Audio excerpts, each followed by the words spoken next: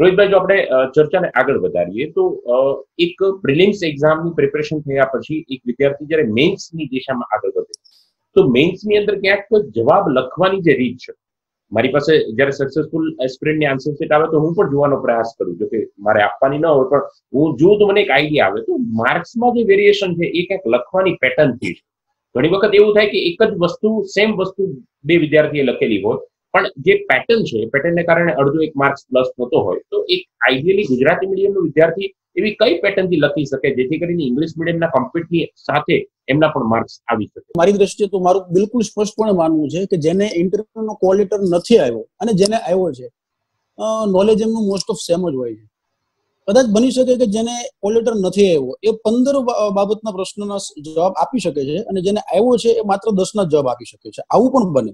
છતાંય મેન્સમાં આપ્યા બાદ ઇન્ટરવ્યુનો કોલ લેટર આવી જાય અને એમાં પણ સારું પરફોર્મ કરી અને જોબ મળી જાય છે. તો એનું માત્ર ને માત્ર કારણ જે લખાણની જે પદ્ધતિ છે પ્રેક્ટિસ છે, એ છે.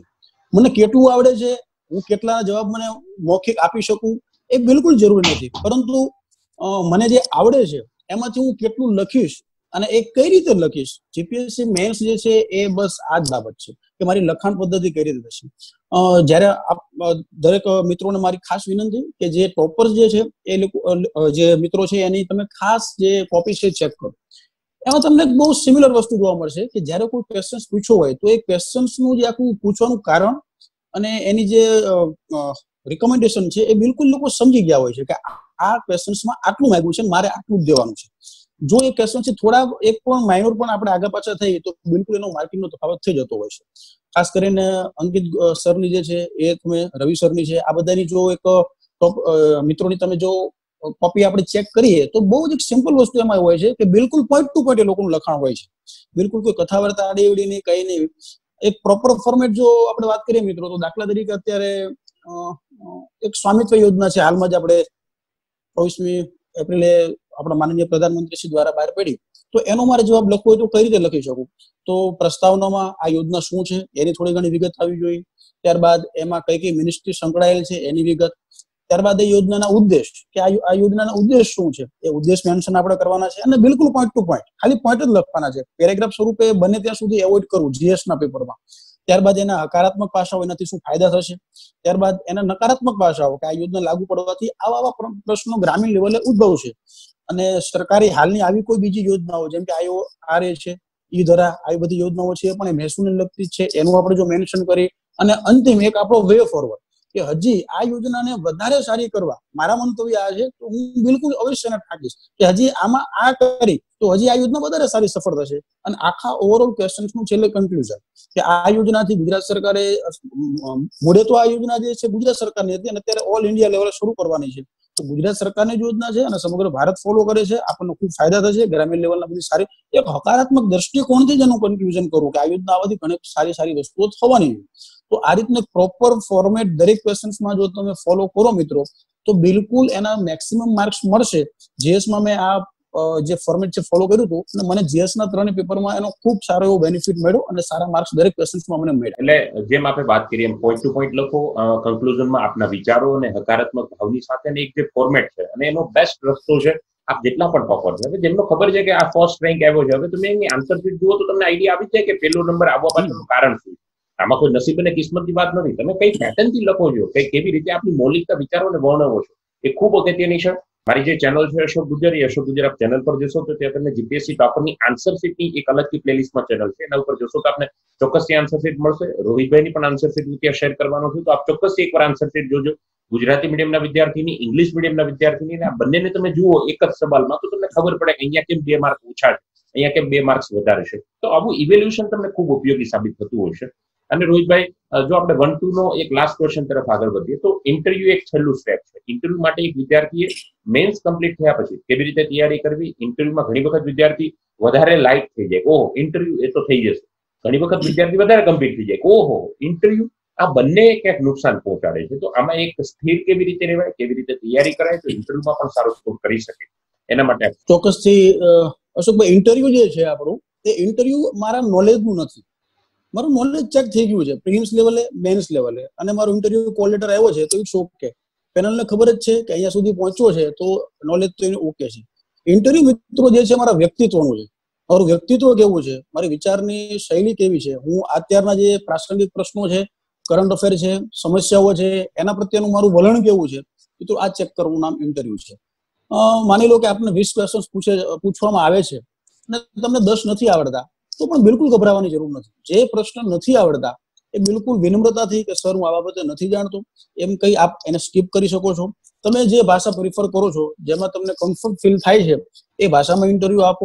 અને ઇન્ટરવ્યુ ને જે બોર્ડની પેનલ હોય છે, એ બિલકુલ હકારાત્મક હોય છે. એવું મતલબ આવ્યા જ છે તો એક વિદ્યાર્થીને પકડીને કઈ રીતે ગૂંચવી નાખો એને કઈ રીતે એકદમ મૂંઝવી નાખો. એવો બિલકુલ ઇન્ટરવ્યુ પેનલનો ભાવ હોતો જ નથી. એ ઉલટું આમ ઇન્કરેજ કરશે આપણને અંદર જઈ તો કે જે નથી આવડતું તો આપણને તરફ વાર એમને બિલકુલ આઈડિયા આવી જશે કે આમાં કન્ફર્ટ નથી. તો તમે જેમાં કન્ફર્ટ હોય એ તરફ ઝોનમાં ફેરવાનો ટ્રાય પૂરું પેનલ કરશે. ઇન્ટરવ્યુ માટે જો વાત કરીએ તો ઇન્ટરવ્યુમાં તો પહેલા એકદમ પોઝિટિવ હકારાત્મક રહેવું. ક્યારેય ખોટા બર્ડનમાં ન આવી જવું કે ઓહો ઇન્ટરવ્યુ છે તો હવે તો શું થશે? પાંચ સાત દસ માર્ક ઓછા આવે તો શું થશે? જો બિલકુલ જેટલા આપણે સ્ટ્રેસમાં આવશું મિત્રો, એટલું ઇન્ટરવ્યુ આપણું ખરાબ જવાનું છે. આ વાત નિશ્ચિત છે. તો બિલકુલ સ્ટ્રેસમાં ન આવતા પોઝિટિવ ભાવથી આપને જેટલું આવડે છે, એટલું ઇન્ટરવ્યુમાં આપણે વ્યક્ત કરવાનું છે. હવે ઇન્ટરવ્યુમાં એક બે બાબત ખાસ આપણે જયારે જે તાર કરીને જવી શું તો પહેલું જે છે આપણું જે ગ્રેજ્યુએશન લેવલનું બેકગ્રાઉન્ડ છે, તો એમાંથી પ્રશ્ન તમે માનીને ચાલો કે આવવાના જ છે તમારે. તમે એન્જિનિયરિંગ બેકગ્રાઉન્ડ છે, તો એમાંથી તમારે પ્રશ્ન આવવાના જ છે.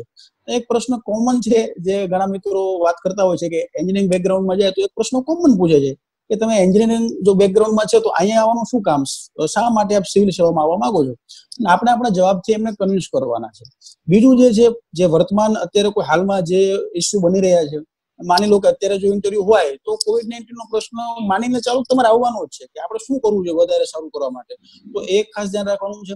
ખાસ તમારી પોતાની કોઈ સફળતા હોય તો એને થોડુંક હાઇલાઇટ કરો. ઉદાહરણ તરીકે હું બસો મીટર મને બ્રોન્ઝ મેડલ છે ઓલ ઇન્ડિયા લેવલે તો મેં જયારે પેનલમાં ગયો હતો મેં શરૂઆતમાં કીધું હતું સર, આ રીતના હું સ્પોર્ટ્સમેન છું. અને મને, તો એને કનો બહુ જ પોઝિટિવ મારો એનો ઇમ્પેક્ટ થયું. તો પોતાની સિદ્ધિઓ વર્ણવો એકદમ બિલકુલ નિખાલસ ટ્રેનના ડબ્બામાં બેઠા હોય આપણે. એને કઈ રીતે વાત કરીએ? અથવા અત્યારે ઇન્ટરવ્યુ ચાલુ છે, એનું કઈ રીતે વાત કરું છું? તો એ જ રીતે આપણે વાતચીત કરવાની છે. નહીં કે મને એક્ઝામમાં એક પ્રશ્ન નહીં આવડે તો માર્ક ઘટશે ઘટશે એવું કાંઈ નથી.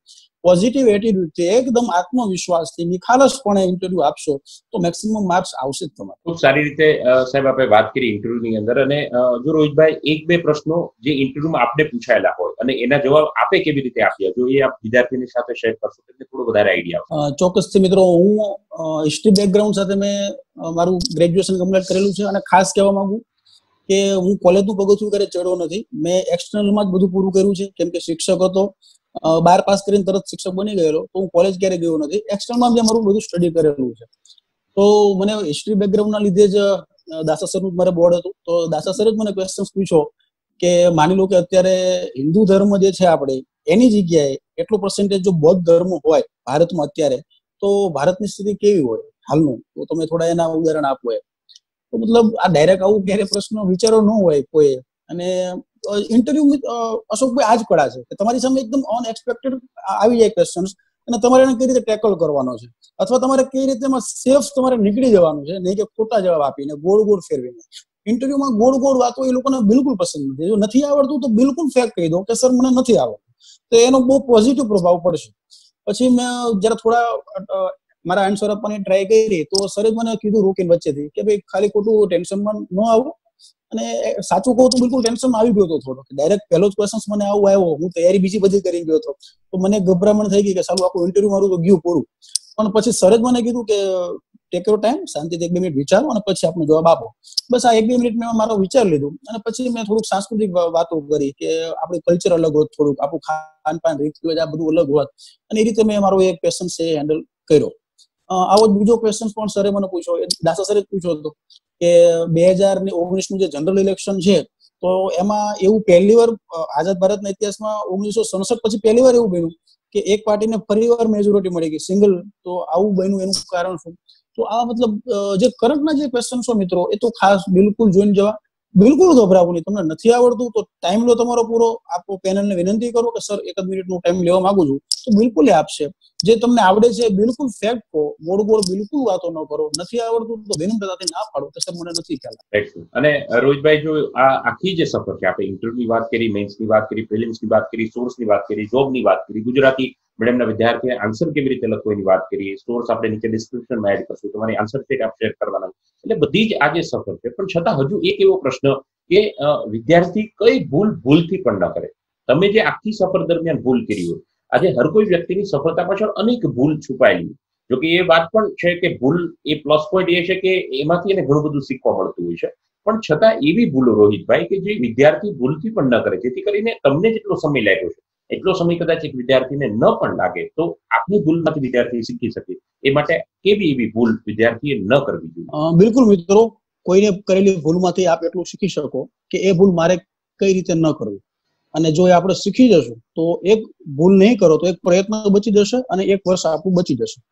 મારી ભૂલની જો હું વાત કરું, તો હું અંગ્રેજી બિલકુલ ક્યારેય શીખેલ નથી ગયા અથવા મને બિલકુલ અંગ્રેજી નથી આવડતું, એવું મને લઘુતા ગ્રંથિ હતી મારી જીપીએસસીમાં અને ગુજરાતીમાં મને ગુરુતા ગ્રંથિ હતી મતલબ એકમાં લો કોન્ફિડન્સ અને એકમાં ઓવર કોન્ફિડન્સ ગુજરાતીમાં એ રીતના હતી કે એમાં તો બધું મને આવડે છે. તો મેં ક્યારેય પ્રેક્ટિસ ન કરી. ત્રણ કલાકથી પ્રોપર મતલબ લખીને કે ત્રણ કલાકમાં હું કઈ રીતે મારું પેપર સારી રીતે પૂરું કરી શકું. અને અંગ્રેજીમાં નહીં જ આવડે એટલે પ્રેક્ટિસ ના કરી. અને જીએસમાં ખૂબ ધ્યાન આવ્યું તો આ બંને સબ્જેક્ટમાં જે છે મિત્રો મારે ખૂબ ઓછા માર્ક આવ્યા એકમાં તો ઠીક છે. અંગ્રેજીમાં જે માર્ક્સ આવ્યા એ મને એક્સેપ્ટ છે. પણ જે મારા ગુજરાતીમાં મારા હાઈ કોન્ફિડન્સના લીધે માર્ક ઓછા આવ્યા એ બિલકુલ એક્સેપ્ટ ન કરી શકાય. તો આપ પણ મિત્રો જે આપ તૈયારી કરો છો એ બધા કોઈમાં લો કોન્ફિડન્સ રાખવું અંગ્રેજી નથી આવડતું તો શીખવાનું જ છે. એ રીતે અંગ્રેજી માધ્યમ વાળા એ ગુજરાતી નથી આવડતું તો મિત્રો શીખવાનું જ છે. ઓન એવરેજ પહોંચી જાય ઠીક છે, એમાં ટોપર એટલે આપણે માર્ક્સ નહીં લાવી શકીએ.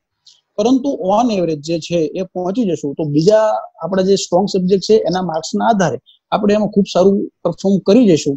અને બિલકુલ સિલેક્ટ થઈ જવાના ચાન્સ આપણા વધશે. તો મારે મિત્રો આ તમામ મિત્રોને સલાહ છે કે એક પણ સબ્જેક્ટને અવોઇડ ન કરતા. તમામ સબ્જેક્ટ સબ્જેક્ટ ઉપર ગંભીરતાથી અધ્યયન કરજો આપનું. રોહિતભાઈ જેમ કીધું મિત્રો, જો કદાચ ઇંગ્લિશ અને ગુજરાતીને પ્રોપર ધ્યાન આપે તો દસ પંદર માર્ક પણ જો વધી જાય, તો કદાચ આજે સીન અને સિનારીઓ કંઈક અલગ હોત પણ આ બધી જ વાતો જે રોહિતભાઈને જે ક્યાંક પોતાના અનુભવોના આધારે સમજાય છે, આપા ભૂલ ભૂલથી પણ ન કરો એવી રોહિતભાઈની વિનંતીની સાથે રોહિતભાઈ જે પણ ભૂલ કરી છે, એ ભૂલમાંથી આપણે શીખવાનું છે. એવું નથી કે ભાઈ રોહિતભાઈ કરી, હું કરી જોઉં પછી જોઉં શું થાય છે. એટલે આપ ન કરો એના માટે રોહિતભાઈ કહી રહ્યા છે. અને રોહિતભાઈ, અત્યારે આપ જે ડ્યુટી બજાવી રહ્યા છો, જે ફરજ બજાવી રહ્યા છો, એમાં આઈડિયલી તમારો રોલ્સ અને રેસ્પોન્સિબિલિટી શું હોય છે? તો વિદ્યાર્થીને એમાં પણ આઈડિયા આવશે. કેમ કે આમાં ઘણી વખત એવું થતું હોય કે જે પોસ્ટ ઉપર હું જઉં છું, એ પોસ્ટ કદાચ મારી પર્સનાલિટીને સૂટ ન કરતું હોય, મને એ કામ ગમતું ન હોય. તો ઘણા મિત્રો ત્યાંથી પણ ટ્વીટ કરતા હોય છે. તો એક વિદ્યાર્થીને આઈડિયા આવે કે ભાઈ આ તમારી જે અત્યારે પોસ્ટ છે એ પોસ્ટમાં એક્ઝેક્ટ શું આપની ફરજ અને કામગીરી રહેતી હોય ફૂડ એન્ડ સિવિલ સપ્લાય મારો ડિપાર્ટમેન્ટ છે. અત્યારે આમાં અલગ અલગ ઘણી બધી હોય છે. આપણો વર્ક પોર્ટફોલિયો તો. પરંતુ હાલમાં મને જે મળ્યું છે એ કન્ઝ્યુમર ફોરમ એટલે કે ગ્રાહક બાબતોના વિભાગમાં જે ફોરમ હોય છે આપણું કન્ઝ્યુમર કોર્ટ હોય છે. એમાં જે કેસનું કઈ રીતે સોલ્વ કરવું અને ગ્રાહકોને કઈ રીતે આપણે વધારેમાં વધારે સારી રીતે ન્યાય આપી શકીએ એ બાબતમાં છે. ફર્ધર જ્યારે મને પ્રમોશન મળશે, ત્યારે ડિસ્ટ્રિક્ટ સપ્લાય ઓફિસરનું પણ પ્રમોશન છે. ઉપરાંત સચિવાલયમાં જે છે, એનું પણ પ્રમોશન છે. પણ મિત્રો જે ક્લાસ વન ટુ ની મોટા ભાગની જે છે પોસ્ટ એ બધી આમ કહેવાય કે સારી અને પ્રેસ્ટિજિયસ જોબ છે. ક્લાસ વન ટુ માં તમને ઘણું બધું નવું નવું જાણવા મળે. ગુજરાતનું દરેક ફિલ્ડની ખ્યાલ આવે અને અલગ અલગ વસ્તુઓ જે આપણા કલ્પનામાં પણ ન હોય, એ બધી બાબતનું તમને ખૂબ મજા આવશે. તો જો આ બધો અનુભવ કરવો હોય તો આ બધાને વિનંતી કરું, એકવાર થોડી મહેનત કરી ક્લાસ વન ટુ ની પરીક્ષા પાસ કરી ઓફિસર બની જાઓ. અને પછી આપણો પરિવાર છે, આપણો ફેમિલી જે છે, એ આપણા માટે જે ગૌરવ લે છે બસ એ ગૌરવ જયારે લે, ખાસ કરીને આપણા માતા પિતા ઓહો, મારો દીકરો કે દીકરી તો ઓફિસર બની ગયા, એમની આંખમાં જે એક, જે કહેવાય કે સંતૃપ્તિનો અહેસાસ હોય, સંતોષ હોય, બસ એની આગળ એમ થાય કે આપણે તો મહેનત જે કરી એ એક ક્ષણ માટે પણ એમ કહેવાય હું તો આજીવન મહેનત કરવા તૈયાર છું. જ્યારે પણ આપના મનમાં કોઈ નકારાત્મક વિચાર આવે મિત્રો, ત્યારે બે ક્ષણ માટે તમારી આંખો બંધ કરી અને જે તમારી તરફ રાહ જોઈ રહ્યા છે, આપણા માતા પિતા નાના ભાઈ બહેન અથવા જે કોઈ લોકો આપણી સાથે એટેચ છે, એ બધાનો વિચાર કરજો. કે જો હું હજી થોડી વધારે મહેનત કરી અને જો સક્સેસ થઈ જઈશ, તો મારા પરિવાર, મારા માતા પિતા મારા સગા સંબંધીઓ એના બધાને કેવી જબરજસ્ત અલગ જ એ લોકોને જીવન મળવાનું છે. મારી જ વાત કરું તો બિલકુલ કહેવાય કે જો હું આ ફિલ્ડમાં ન હોત, મને જોબ ન મળ્યો તો હું આજ સો બસો રૂપિયામાં કોઈ મજૂરી કરી અને ખેતરમાં કામ કરતો હોત, એ સો ટકાની વાત છે. પણ આજ મારે, મારા લીધે મને જો મળી ગઈ છે, તો મારા પરિવારને પણ એક આખી આખું એક સુખમય જીવન અને ભવિષ્ય એમને મળી ગયું છે. તો આ મિત્રો વાત આપ લોકો ખાસ યાદ રાખજો. તમારા માટે નહીં, પરિવાર માટે, મિત્રો માટે, બીજાના માટે મહેનત કરો. અને જો તમારી મહેનત એકદમ પ્રોપર વેમાં હશે તો બિલકુલ આપણને સફળતા મળશે જ. બિલકુલ પોઝિટિવ રહો. સફળતા મળવાની જ છે. ત્યારે નકારાત્મક વિચાર મનમાં ન લાવો કે નહીં મળે, નહીં થાય, મારાથી થશે જ. શું કામ નહીં થાય? બિલકુલ થશે. મહેનત રાખજો રાખજો અને રાખજો. રોહિતભાઈ, ખૂબ સારી રીતે આપણે વાત કરી છે અને લાસ્ટમાં એક લાસ્ટ ક્વેશ્ચન લાસ્ટ કન્ક્લુઝન તરફ આપણે જો આગળ વધીએ તો આપનો જો કોઈ મેસેજ હોય વિદ્યાર્થીઓ માટે અને અંતમાં જે આપ કોઈ મેસેજ આપવા ઈચ્છતા હોય તો આપ ચોક્કસથી શેર કરી શકો છો. ખૂબ સારી રીતે આપણે વિદ્યાર્થીઓને ગાઈડન્સ આપ્યું છું અને લાસ્ટનો મેસેજ આપનો શું? મિત્રો, ગુજરાતી માધ્યમના વિદ્યાર્થી તરીકે મારી એક આશા છે કે ટોપ ટેનમાં પણ આપણા મેક્સિમમ ગુજરાતી માધ્યમના વિદ્યાર્થીઓ હોય. અને આપણે કરશું ગુજરાતી માધ્યમના વિદ્યાર્થીઓ કોઈ પણ કેરી હોય તો મારો ફોન નંબર છે nine four two nine six five one two seven six WhatsApp number પણ આ જ છે. જો તમારે કોઈ લેખિતમાં ખાસ કરીને જે લોકો પ્રિલિમ્સ પાસ છે અને આવનારી મેન્સ દેવાના છે, એમને પ્રશ્નના જવાબ કઈ રીતે લખવા? મને જેવું આવડે, મને જેવો ખ્યાલ છે, એવું મારી દ્રષ્ટિએ હું માર્ગદર્શન જે છે, આપ લોકોને પૂરું પાડવાનો બિલકુલ એક વિનમ્ર પ્રયાસ કરીશ. તો જો આપનો કોઈ પણ કેરી હોય, તો આ વોટ્સઅપ નંબર અથવા મારા કોલ નંબર ઉપર આપ બેઝિજક ફોન કરજો. તમને મદદ કરી અને મને ખૂબ આનંદ થશે. જેથી કરીને ગુજરાતી માધ્યમના વિદ્યાર્થીઓ જે આપણા, એક આપણું એક્સક્યુઝ છે કે આપણે કમ્પ્લીટ નહીં કરી શકીએ બિલકુલ, આપણે કમ્પીટ કરશું અને આપણે કરવાનું જ છે. ખૂબ સારી રીતે રોહિતભાઈ આપણે માહિતી આપી, વિદ્યાર્થીને સપોર્ટ કરવાની જે ભાવ અને ભાવના બતાવી એ ક્યાંક બતાવી રહી છે રોહિતભાઈ કે આપ પણ હજી ઈચ્છો છો કે ગુજરાતી મીડિયમના વિદ્યાર્થીઓ ખૂબ સારી રીતે આગળ વધે અને ક્લાસ વન સુધીની સફર એ ખેડે, એવા ભાવ અને વિચારની સાથે જે આપણે આજે માહિતી આપી છે. આશા રાખી મિત્રો કે અમારો આ જે પ્રયાસ છે આજે આ પ્લેટફોર્મનો જે પ્રયાસ છે, એ પ્રયાસથી આપ સુધી ઘણી બધી ઇન્ફોર્મેશન પહોંચી હશે. આ બધી જ ઇન્ફોર્મેશનને ફક્ત જો સાંભળશો તો કદાચ કંઈ નહીં થઈ શકે, પણ જો એને આજથી આશ્રણથી ઇમ્પ્લિમેન્ટ કરવાની શરૂઆત કરશો, તો આપ ઘણું બધું કામ સારી રીતે કરી શકશો. રોહિતભાઈ, આપનો સ્પેશિયલી ખૂબ ખૂબ આભાર કે આ વ્યસ્તતા ભર્યા સમયની અંદર, આપ જવાબદારી વાળા સમયની અંદર આપની જવાબદારી વાળી કામગીરીમાંથી પણ આપણે સમય કાઢીને વિદ્યાર્થીઓ માટે લગભગ ખૂબ સારી રીતે અને ખૂબ સારો એવી લેન્થમાં પણ આપણે વીડિયો જ્યારે શૂટ કર્યો છે. આપ વિદ્યાર્થી મિત્રોનો પણ ખૂબ ખૂબ આભાર કે આવી રીતે અમારા પ્લેટફોર્મ પર આવી રહ્યા છો લર્નિંગ લઈ રહ્યા છો લર્નિંગની સાથે ઇમ્પ્લિમેન્ટ કરી રહ્યા છો. આપની અંદર જે પોઝિટિવ ઇમ્પેક્ટ અને પોઝિટિવ જે ચેન્જ આપી રહ્યો છે, એ જ અમારી માટે આ એક પ્રયાસનો પુરસ્કાર છે. એવા ભાવની સાથે આવી જ રીતે અમારી સાથે આપ બનેલા રહો, જોડાયેલા રહો ચેનલને હજી સબસ્ક્રાઇબ ન કરી હોય તો ચોક્કસથી સબસ્ક્રાઇબ કરો. આવા વિડીયોને આપ માણતા રહો અને અમને સાથ સહકાર આપી રહ્યા છો. બદલ આપના ખૂબ ખૂબ આભારની સાથે thank you thank you very much all of you જય હિન્દ, જય ભારત.